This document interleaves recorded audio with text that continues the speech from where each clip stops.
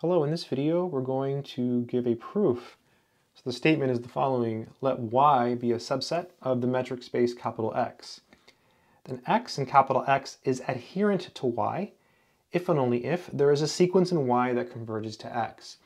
So we do need a couple definitions, but the one I'm going to refresh here is this one here, adherent to y. So recall a point x in capital X, here capital X is a metric space, is adherent to y if for all r greater than 0, the open ball centered at x of radius r intersected with y is non-empty. So that's a very important definition that we need in order to go through this proof. All right, let's just jump into it, proof. So let's do this direction first. So we'll start by assuming that we have a point x and x that's adherent to y. So I'll say suppose x in capital X is adherent to y. And now we have to basically give a constructive proof. We have to construct a sequence in y that converges to x. So we somehow have to use the fact that it's adherent to y. So what I am thinking is we can do the following. So since x is adherent to y, for all n greater than or equal to 1, we have that the open ball centered at x of radius 1 over n intersected with y is not the empty set.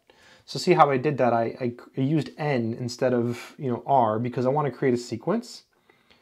So that means that this set is not empty. So that means that there exists x sub n in this intersection. So in particular, it's in this set here. So x sub n is in this set here.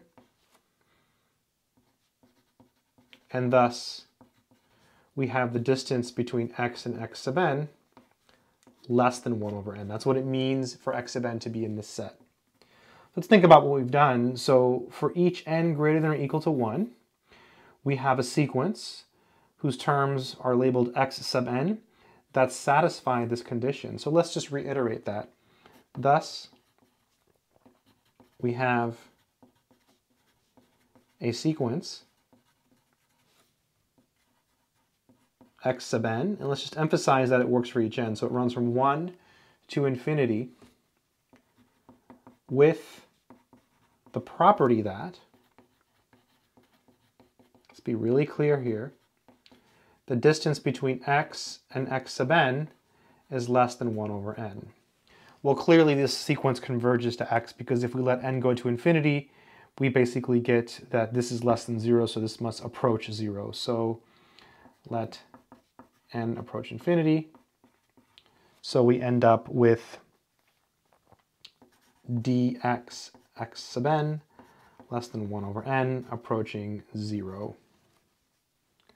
So that means that the limit as n approaches infinity of the distance between x and x sub n is equal to 0. And so that means that x sub n converges to x. So thus, x sub n converges to x. Sorry, I know you couldn't see for a moment. I always have a hard time looking at the camera and what I'm writing. So now let's go the other way. So now we have to assume that we have a sequence in y that converges to x, and we have to show that x is adherent to y. So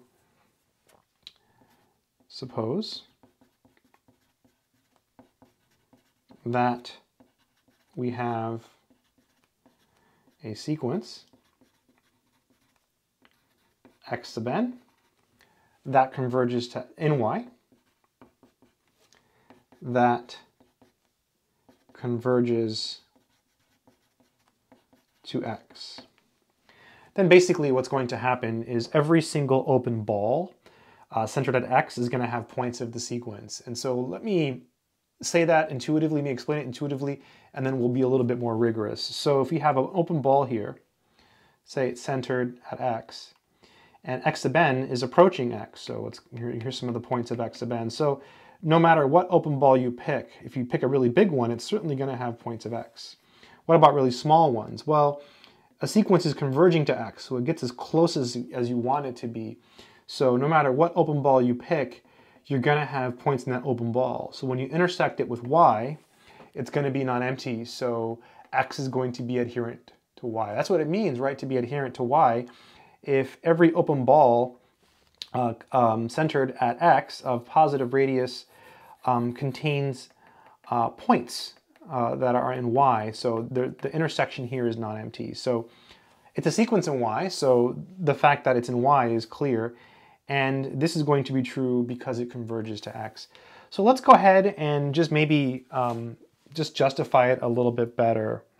So what does this mean? Let's use epsilons here to justify it. So this means, so thus, so instead of saying for all epsilon, I'm going to say for all r, just to match the definition here. Thus, for all r greater than 0, there exists a positive integer such that for all n greater than capital N, we have that the distance between x and x sub n is less than r. Okay, so that means that x sub n is in the ball centered at x of radius r. But x sub n is a sequence in y. But x sub n is also in y. So that means that x sub n is in the intersection of this ball centered at x of radius r intersected with y. So therefore the intersection is non-empty. Hence, this intersection of the ball centered at x of radius r with y is non-empty.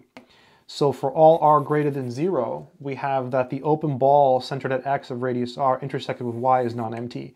That is precisely what it means for x to be adherent to y, right? A point x and x is adherent to y if this condition is satisfied. That's exactly what we have here, right? I mean, it's exactly that. So this shows x is adherent to y. And again, intuitively, um, it should make sense because no matter how close you get, right, let's just like pretend, pretend we're zooming in, you're always going to have points uh, in this ball. And that's because it's for all r, so you can make r smaller and smaller, so the ball can get smaller and smaller and smaller. If we're wondering about big balls, well, big balls, you just make them big and they're going to contain everything, so it's no, it's no real issue. But yeah, pretty cool proof. Um, I hope this video has been helpful to someone who is working on mathematics. Good luck.